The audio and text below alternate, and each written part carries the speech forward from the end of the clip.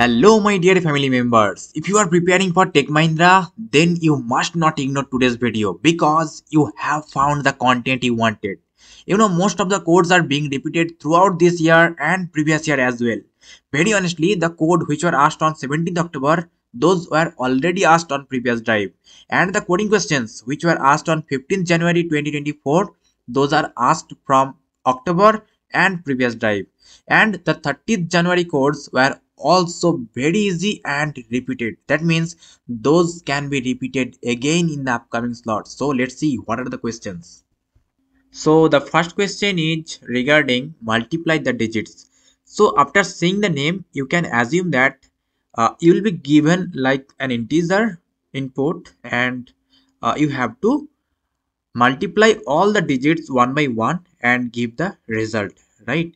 So as you can see here so 3 4 5 or any number as an integer uh, as an input.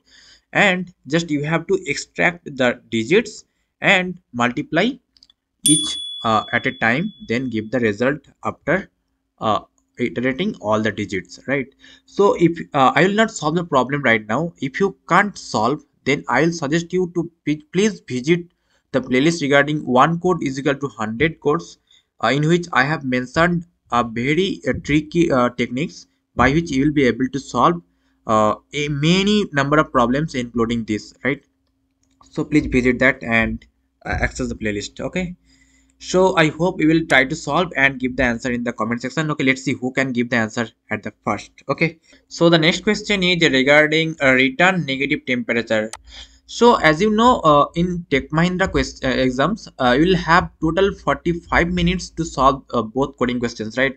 Uh, there can be one easy and uh, another one will be can be a medium type, but here we can see both coding questions are from easy level, easy difficulty level, right?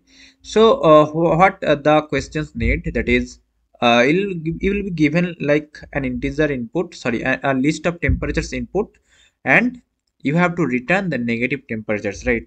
Like uh, in c++ uh, you will be given a vector and uh, for java or any other language uh, you will be given like a list of temperatures in which many temperatures uh, are stored and you have to iterate through all the elements of uh, that list and you have to return the negative temperatures right?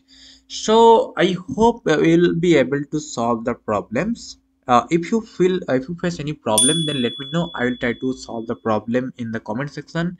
And please let me know if you want more such content and if you want more such Tech Mahindra content or if you want any other company's content so that i can be aware of your uh, concern right? So thank you for today's session